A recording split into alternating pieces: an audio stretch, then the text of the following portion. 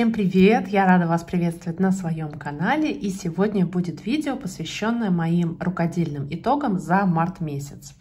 На календаре уже апрель. А, дело в том, что 1 апреля совпало с пятницей, и я уехала на дачу.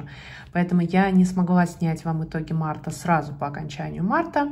Ну, думаю, ничего страшного в этом нету. Отличие будет только в том, что в одном-двух процессах у меня сегодня уже будут в том числе результаты апреля. Но я об этом дополнительно скажу. Опять же, повторюсь, мне кажется, ничего страшного в этом нету. А, март у меня получился достаточно рукодельным. Понятно, что это месяц еще, когда а, погода на улице ну, не очень хорошая, тем более весна в этом году не торопится к нам прийти, поэтому больше времени было дома, больше времени было на даче и, соответственно, было больше времени на вышивание. У меня очень хорошо продвинулось несколько процессов. У меня было два старта. Что-то не получилось. Об этом мы тоже поговорим в конце видео. Честно расскажу все свои мысли, поделюсь э, планами э, и в том числе расскажу о том, что я планирую вышивать в апреле. А, так что предлагаю вспомнить все мои процессы старта и финиши за март месяц и провести вместе ближайший час времени. Мои скромные финиши марта перед вами. Действительно, а, у меня были только такие маленькие завершенные работы. Прежде всего, это связано с тем, что у меня было три а, таких хороших весомых финиша в феврале, когда я завершила три картины.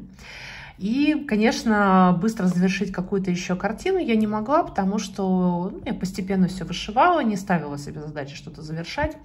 Поэтому у меня в основном были только продвижения. Ну, а завершала я, начинала даже, я бы сказала, и завершала я небольшие работы. Но ничего страшного, Зато в апреле у меня точно должен быть финиш, это я так забегаю вперед. Значит, первым финишем марта у меня стал медведь. Я его начинала в феврале, но не успела завершить. Это оказался такой достаточно большой медведь. А, вышивала по набору от волшебной страны. А, вышивала с двух сторон. А бисер к нему я докупала по номерам, которые указаны в наборе. Заказывала и на Озон, и на Wildberries, и в Леонардо. Я не помню достоверно, где какой номер заказывала, потому что я а, собирала э, вот бисер для второй стороны сразу для нескольких наборов, и я смотрела, в каком магазине есть э, наличие каких номеров. Вот, соответственно, вот такой медведь у меня получился. Э, вполне себе зимний, интересный, вот с такими скандинавскими узорами. Процесс уже традиционно был легким, и я его вышивала понемногу, когда у меня была свободная минутка времени. Вторую игрушку, которую я вышила, это вот такая синица. Давайте напомню, что изначально у меня был набор со снегирем. Это был мой первый опыт вышивания с двух сторон, и я для того, чтобы мне хватило материалов, эм, вышивала по двум наборам. Но основу взяла из одного набора. И, естественно, у меня осталась вторая основа. Мне было ее жалко выкидывать, потому что такая хорошая деревянная основа. Вышивая второго снегиря ну, было как-то скучно, и я решила, что я из снегиря сделаю синицу. Вот, и я, так сказать, сама придумала одну схему, это будет очень громко сказать, потому что я как бы бисер подобрала на глаз, взяла фотографию синицы, понятно, что взяла за основу снегиря, только проверила, что, собственно, снегирь, он немножечко по-другому выглядит, то есть здесь нельзя было взять и просто грудку вышить желтой. Нет, снегирь это другая птица, у нее тут другой рисунок на крыльях, на голове, вот, и я поэтому начала фантазировать на тему того, что вот как сделать крыло, как сделать голову, и так далее. Понятно, что можно было сделать лучше, я не дизайнер, но тем не менее я считаю, что результат получился не так уж и плох. А вот листья тоже пришлось поменять, потому что если бы у меня были вот здесь зеленые листья, то как-то было бы странно от зеленого крыла к зеленым листьям переход. И внизу здесь тоже было как-то не особо симпатично, поэтому я решила, что у меня синица сидит в осеннем лесу, и листья уже пожелтели. Опять же, вышивала с двух сторон. Вот. Я в целом довольна результатом. Не скажу, что я бы хотела повторять подобный опыт. Ну, вот один раз можно было попробовать сделать. Вот. И бусины я немножечко другие покупала, потому что мне не очень нравятся оригинальные бусины в наборе с точки зрения размера. Здесь сильно светит основа, поэтому я купила бусины покрупнее, но в некоторых местах они начали толкаться, поэтому я использовала бусины двух размеров, опять же, понимая, что это ягоды, а ягоды в природе тоже не одинаковые, не откалиброванные, поэтому мне показалось, что так тоже будет уместно. И третья игрушечка, вот такой медведь. Значит, изначально это был набор от компании Кварт, который мне подарила Саша. И я решила, что я не буду вышивать его на Аиде, я не буду вышивать его как картинку, потому что я не представляю, куда я бы могла э, применить. Поэтому я решила, что это будет игрушечка. Вот, я поменяла Аиду на ткань, а, вышила лицевую сторону. А, при этом я подумала о том, что если это будет новогоднее украшение, то история про мед, конечно, уместна, но было бы более нарядно добавить какой-то яркий цвет сюда, поэтому я из бочонка меда сделала его как бы там, ну, мешочком для подарков, подарком.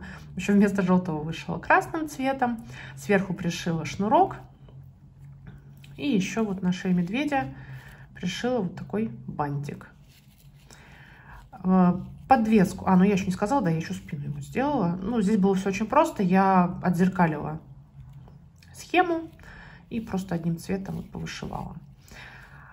А, собрала в игрушку, а, пока я не стала делать э, подвес, потому что я не уверена, что я буду вешать на елку. Может быть, я буду просто вот ставить как часть композиции.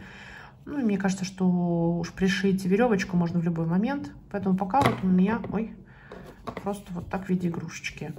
А, получился очень миниатюрный, то есть он даже, знаете, у меня меньше, чем превью. Вот такой вот совсем маленький медвежонок. Ну, тоже такая безделушка. Зато я рада, что мне не лежит набор. У меня уже готовая работа. Тоже вышивала его по мере возможности там по одной-две ниточки. Но когда я подводила итоги сегодня, я посмотрела, он по крестикам-то оказался объемный. То есть там на две стороны пришлось что-то около 1300 крестиков. Ну, я цифры покажу в конце. Но, тем не менее, вот в этой маленькой штучке 1300 крестиков. И хочется сказать, что всегда нужно помнить о том, что, ну, это прежде всего себе говорю, что за кажущимся маленьким размером той или иной работы порой скрывается довольно весомый объем по крестикам. И бывает, мы думаем, ой, сейчас я тут за один вечер сделаю себе игрушечку, а один вечер превращается в 2-3, а то и 4 вечера, и потом сидишь и удивляешься, думаешь, почему я так много времени на нее потратила. А вот по факту оказывается, что это по крестикам-то объемная вещь. Вот, так что такие у меня были финиши марта. Небольшие, нарядные, яркие. А теперь давайте поговорим о стартах. И первым стартом марта месяца у меня стал процесс мини-букет сэмплер от Жанет Дуглас. Я уже неоднократно рассказывала на своем канале об этом проекте, о том, что он годовой, каждый месяц выходит по одному букетику. А я в марте нагоняла а, всю норму, которую должна была вышить, потому что я сначала ждала материалы, потом у меня немножечко не было времени на этот процесс. И задачей марта было вышить все три букетика. Январь, февраль и март. И, соответственно, рамку вокруг. Вот и я вот весь март понемногу вышивала эти букетики. Я сильно долго останавливаться не буду, потому что у меня на канале уже вышло отдельное видео по этому процессу, в котором я рассказываю подробно про сам проект, э, про то, где взять схемы, а как эти схемы выглядят. А я для каждого букета показываю все ниточки, которые указаны в оригинальном ключе. А, делюсь впечатлениями по каждому процессу потому что ключ дан в нитках ручного окрашивания, но есть альтернатива в DMC. И, соответственно, я предполагаю, что те из вас, кто, например, заинтересовался данным проектом и хочет повышивать, может задаться вопросом, а надо ли покупать все нитки по ключу или можно использовать что-то свое. И вот я на таком разборе ниток показываю, что лучше взять по ключу, что можно взять из своих запасов э, и так далее. Ну, если вы не хотите смотреть отдельное видео, я в двух словах скажу, что Процесс очень интересный, он достаточно быстрый. То есть э, на отшив одного букетика и рамки вокруг э, нужно ну, примерно, не знаю, там час, два, три времени в месяц, потому что здесь э, порядка 600-800 крестиков. И дальше уже зависит от вашей скорости, сколько вы вышиваете в час и сколько, в принципе, вышивального времени у вас есть. А, но я уверена, что там больше трех вечеров не уйдет на один букетик, а поскольку он публикуется один за месяц, то это совершенно такая легкая норма. Э, проект интересный, проект любопытный, проект красивый. Потому что мне нравится смотреть за развитием сюжета на основе, потому что вот каждый букетик все равно сделан по-своему. Где-то листики отличаются, где-то вот вазочки отличаются, а, цветочки, опять же, да, там для каждого месяца свои придуманы, свои оттенки ниток.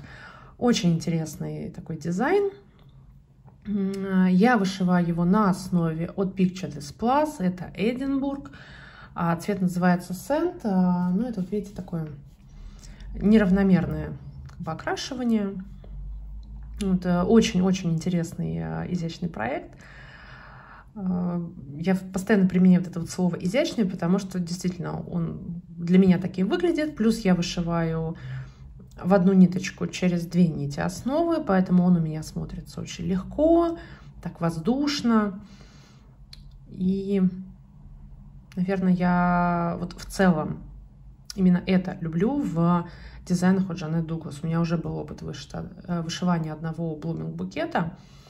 И вот как раз сейчас в этих букетах тоже я получаю то же самое ощущение. Вторым стартом у меня стал нишковый проект. А, вновь возвращаю в ротацию хотя бы один дизайн с медведем. После того, как я завершила а, Уильяма по дизайну Джона Клейтона от компании Heritage, вот я решила взять Dimensions. Это сюжет, который называется Teddy and Kittens, номер набора 35236. Вот такой дизайн. А, решила сейчас его взять, потому что это простая серия, ее можно вышить достаточно быстро. И у меня в планах на этот год еще есть мишковые дизайны, вот, поэтому я вот решила сейчас а, его повышивать. Как обычно, ничего не меняю, беру основу из набора. А, Все меня всегда устраивает в дизайнах Dimensions. Мне пока не сильно есть что вам показать, потому что буквально один вечер я посвятила этому процессу. Ну вот я начала вышивать голову медведя. Уже видна левая часть головы, контур уха. Ну, пока вот совсем-совсем мало. Здесь чуть меньше 500 крестиков. Ну, то есть я в последний день марта успела закрыть этот пункт плана и начать процесс. Действительно, первое знакомство со схемой мне показало, что простая серия себя оправдывает. Действительно, очень легкая схема. А для меня легкая схема заключается в том, что я вижу, что пока там не будет э, одиночных, там по два, по три крестика групп, пока я буду вышивать э, сразу такими серьезными участками одним цветом. Вот. И вот перед вами это я вышивала двумя цветами. То есть тоже брала нитку, вышивала, нитка заканчивалась, я брала следующую нитку, вышивала, и нитка заканчивалась. То есть заканчивалась не схема, а заканчивалась нитка. Ну, вот, мне всегда так проще всего вышивать. Вот, так что теперь этот дизайн будет в моей ротации в ближайшие сколько-то месяцев, не знаю. Я пока не ставлю себе задачу в какой-то конкретный месяц завершить этот процесс, как пойдет и как у меня будет время на вышивку в целом. И теперь покажу продвижение по нескольким своим процессам. А, такой самый у меня по вышивальному времени продвинутый процесс – это сирень от Алисы. Я начала этот набор в феврале.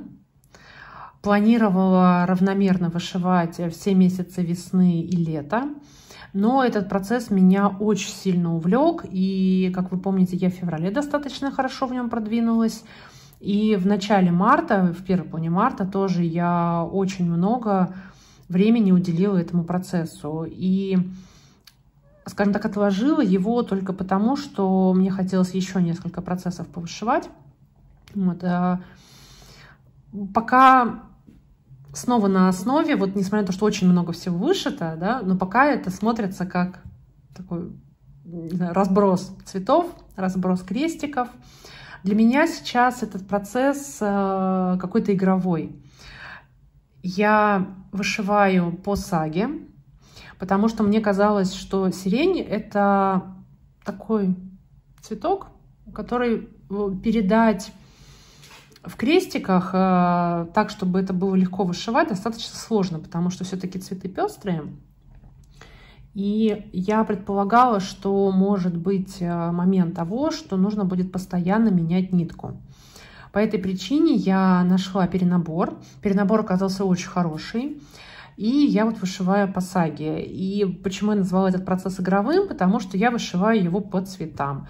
То есть я прям выбираю какой-то один цвет, и вот его вышиваю. Потом другой, третий, четвертый и так далее. Очень необычная для меня манера вышивания, но мне очень интересно, забавно и действительно как игра смотрится. То есть я постепенно один за другим цвета вычеркиваю. Это очень увлекает меня этот процесс. А здесь у меня сейчас готово где-то 44% работы. И очень мне нравится то, что получается. Я вообще очень довольна тому, что я наконец этот процесс вышиваю. А второй по объему крестиков э, процесс, который я вышивала в марте, это «Мамино тепло Овен». Даже не нужно уже вам показывать превью, потому что практически работа завершена. Мне осталось немножечко повышивать крестиков внизу и бэком оформить. А, этот процесс у меня идет вне основного плана, но я очень много времени ему уделила в марте, потому что это очень эмоциональный для меня сюжет. Э, набор подарила мне мама. Понятно, что мамино тепло, мамина забота. Это все передано в данном сюжете. Э, плюс я вот в буднях рассказывала, что у меня в марте был такой период, который был связан там, с регулярным медицинским обследованием. И тоже это у меня очень было связано там, с моими воспоминаниями из прошлого, с э, теми ситуациями, которые у меня были. А, и в том числе как бы с маминой заботой это связано. И мне вот как раз на той неделе, когда я проходила обследование, очень сильно хотелось вышивать именно эту работу.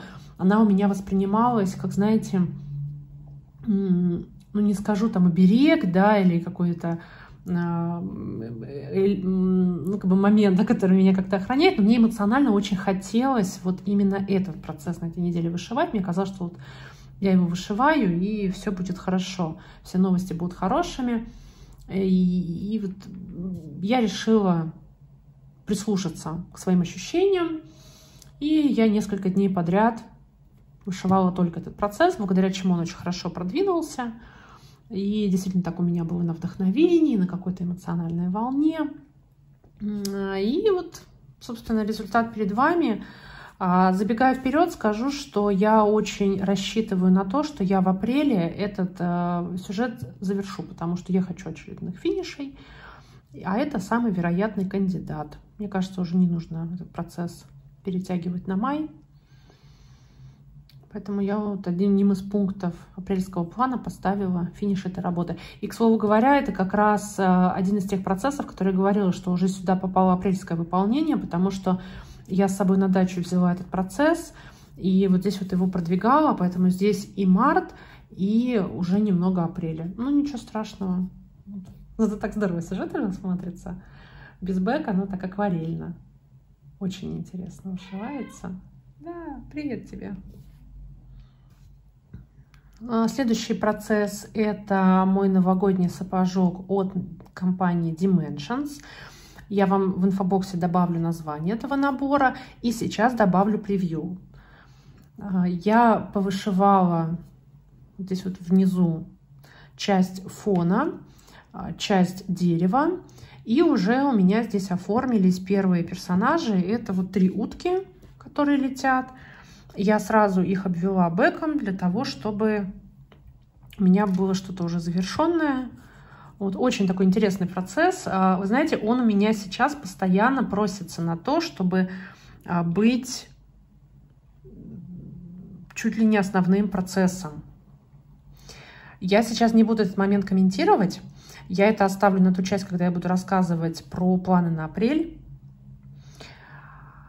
Да, поговорим вот в той части. Но процесс идет очень легко. Процесс идет э, с вдохновением тоже. Очень такой он интересный, э, приятный. И опять же, ну вот у меня в этом году много таких процессов, про которые я говорю, ну наконец-то я его вышиваю. Вот прям рада. Давно хотела э, вот эти вот сапожки или носочки, по-разному можно называть. И наконец-то я взяла себе в ротацию такой сюжет. Сэмплер от Ланы – это тоже процесс, который я постепенно продвигаю каждый месяц. Э, моя норма 2000 крестиков, и в этом месяце я свою норму вышила, завершив вот этот элемент. То есть я вышивала текстовую часть, и сейчас я могу совершенно точно сказать, что у меня вот эта часть уже полностью завершена. Такой был хороший процесс под сериал. Вышивать одним цветом, одной ниткой, через одну нить основы. Нужно очень аккуратно, не торопясь, вдумчиво. Поэтому вот я включала себе сериальчик и под него вышивала. А, ну, немножечко нудновато, может быть, было. Я уже хочу все-таки в этом сэмплере перейти к э, каким-то элементам, бордюрам, каким-то отдельным элементам. Но вот я рада, что уже все. Вот при своем следующем части вышивания этого процесса как раз я уже буду вышивать какие-то элементы. И еще один процесс – это долгострой. Это моя категория долгостроев. Это риолис, я называю зимнее сербское село. А, тоже норма в 2000 крестиков, и я ее каждый месяц стараюсь соблюдать. А, в этот раз я вышивала правую часть, то есть вот у меня сюжет развивался сверху вниз, немножечко вот сюда вправо, и дальше я буду спускаться вниз. И уже здесь вполне себе так хорошо оформились контуры домиков, контуры леса, вот тут поля. Здесь вот домики я завершала. А, и как любой процесс, а, в котором есть сплошная зашивка, конечно, мне нравится, когда ну, вот вышитая часть уже полностью зашита. Там нету пропусков. И как раз вот сейчас у меня удается достигать вот здесь такого эффекта, постепенно заполняя пространство. У меня немножечко сейчас здесь выглядит неровно. Это связано с тем, что у меня здесь боковая натяжка. Канва все-таки не совсем плотная, да, такая, чтобы прям стояла. Поэтому у меня сейчас боковая натяжка немного оттягивает как бы в бок, поэтому может немного неровно смотреться. На самом деле здесь все вышито ровно. Вышиваю шерстью в три сложения. Очень пухлая вышивка получается. Вот. И так постепенно-постепенно веду долгострой к финишу. И из моих э, таких основных э, процессов плана это все. Э, не могу не показать традиционно еще своего медведя. Это мой дорожный процесс, который я с собой беру на дачу на рыбалку. В марте тоже повышивала. Что у меня сейчас готово? У меня готова голова. У меня готова рубашка-жилетка, воротник кофты. Вот у меня добавились косы резинка внизу и манжеты.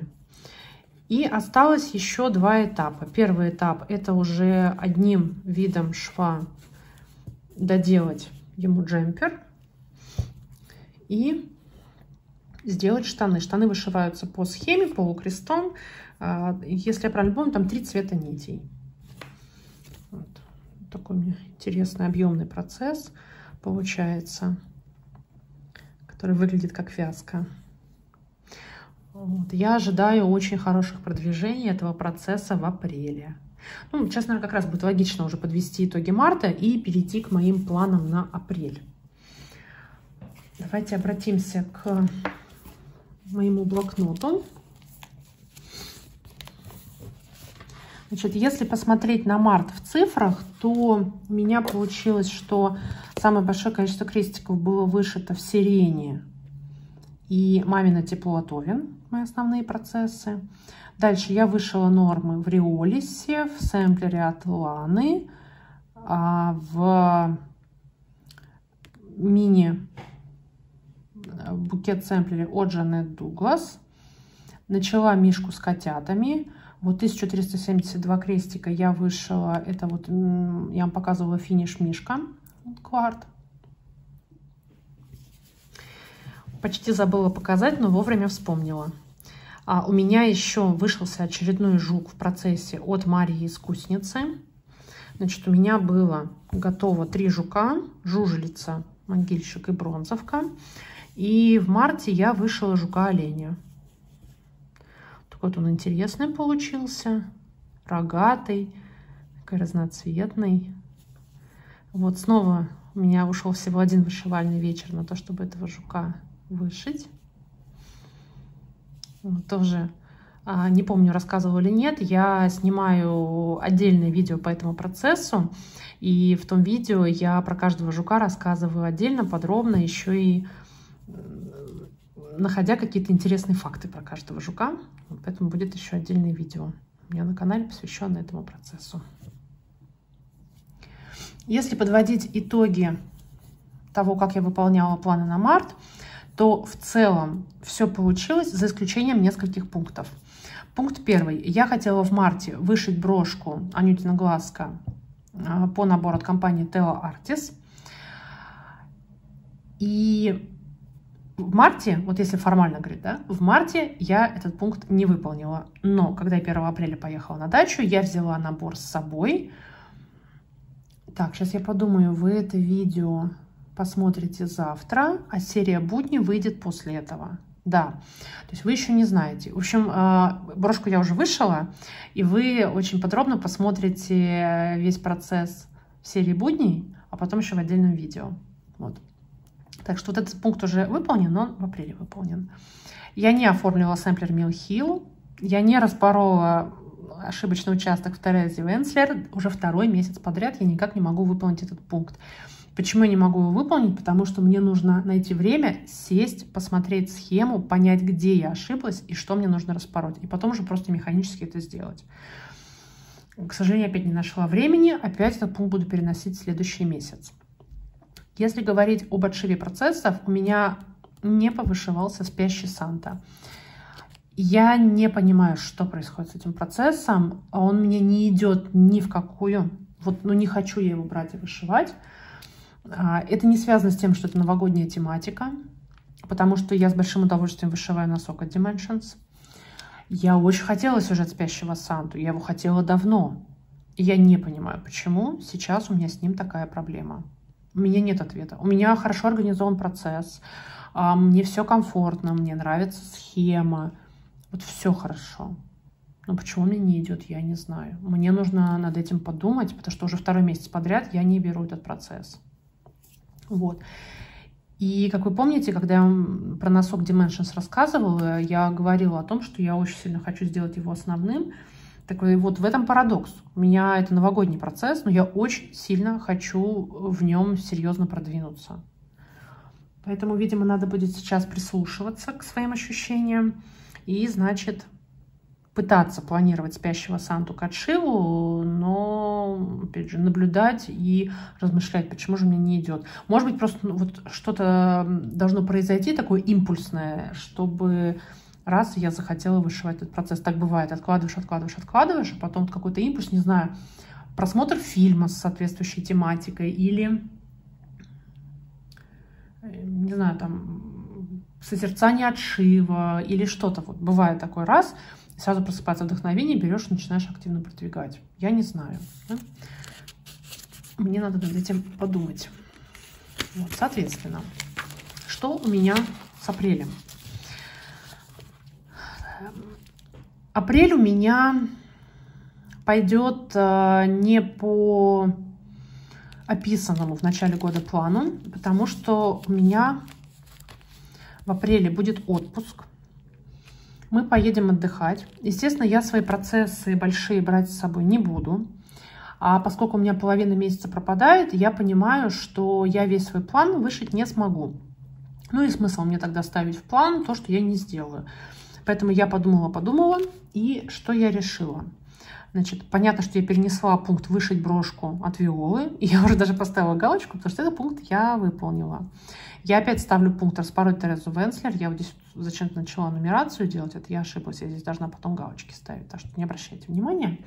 Значит, я опять ставлю себе «распороть Терезу Венслер». Я опять себе ставлю все-таки сшить, э, оформить Hill Sampler. Далее я хочу видеть в качестве, вот здесь в квартире, да, дом процесса, основным процессом сирень от Алисы. Я не пишу норму, потому что я хочу этот процесс видеть основным. И я ставлю в цель его продвинуть, а сколько получится, столько получится. Тысяча, две, три, вот как у меня будет вышивальное время. Мне сейчас трудно сказать, потому что вот сегодня 6 апреля, через два дня мы уезжаем, вернемся мы уже в 20-х числах, и ну, там тоже я не сильно понимаю, как у меня будет со свободным временем. Ну, в общем, Алису я хочу активно продвинуть. Понятно, что я вышью апрельский букетик от Джанет Дуглас. Я вышью очередного жука в процессе от Марии Искусницы. И «Мамино тепло» я ставлю финиш. Я хочу цель. То есть у меня будет основное, это вот сирень, доделать «Мамино тепло», вышить букет насекомых и все. Я больше себе в план ничего писать не буду. Я не буду писать риолис, я не буду писать носок, я не буду писать сэмплеры, потому что я не уверена, что я это успею. То есть если у меня будет время, я, естественно, повышиваю, и буду довольна, что я все равно смогла эти нормы отшить, которые у меня в годовом плане были. Но если не получится, то не получится. Так, и еще меня, по идее, я каждый месяц вышиваю какую-то новогоднюю игрушку. А, что будет в апреле «Волшебная страна» или какая-то другая игрушка, я пока не могу сказать, потому что вообще я с собой планирую взять вот медведя, Dimensions, который я вам показывала. Буду вышивать его э, штаны и джемпер. Я возьму с собой жар-птицу «Ангел». Я его сейчас в марте не показывала, потому что я там вообще ни крестика не вышила. Вот, я уже давно его тяну с собой, а, поэтому я его возьму, чтобы прям активно продвинуть. То есть вот у меня будет ангел на пластике и медведь. Это вот такие дорожные процессы, которые я беру с собой. Я на всякий случай возьму какой-нибудь еще маленький наборчик. А, маловероятно, что мне понадобится. Но вот всегда хочется знать, что у меня вот есть запас. Да? А вдруг так случится, что я и медведя, и ангела закончу, и, о боже, у меня не будет ничего повышивать. Как так, да? Пусть лучше вот наборчик один поедет со мной. Вот, поэтому я рассчитываю на продвижение дорожных процессов. Но в планы не пишу, потому что это дорожные процессы. Все. Холли Нативити у меня, как дорожный процесс, тоже со мной не поедет, потому что я, как уже сказала, хочу активно продвинуть ангела. Я уже его очень давно вожу с собой везде. Поэтому медведь и ангел все-таки будут в приоритете. Вот такие у меня планы на апрель.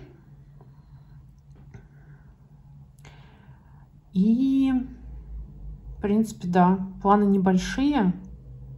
Пусть такими и остаются. Вот, лучше их выполню и буду довольна. Все. Это все, что я хотела вам рассказать про свой рукодельный март. А, подождите, не все. Я же еще с цифрами не закончила. Значит, вот эти вот все свои нормы я записала, посчитала. У меня в итоге получилось 21 336 крестиков, и это 688 крестиков в день. Вот такая у меня получилась скорость. А, хороший, как я говорила, хороший месяц март. Но я понимаю, что сейчас у меня будет все меньше отшитых крестиков, потому что апрель, май, июнь, июль это уже все, это уже лето, дача, это прогулки, это всякие разные занятия. И там уже будет меньше у меня нормы, ну и ничего страшного. Зима всегда более продуктивна, чем весна. Вот, и у меня получается уже в этом году, видите, я уже записала брошку как девятый финиш. То есть у меня уже получилось 9 финишей. А прошло три с половиной месяца. Вот, интересненько. Вот, все. Теперь точно все, что я хотела вам рассказать. Мы вместе с вами вспомнили, что же я вышивала в марте.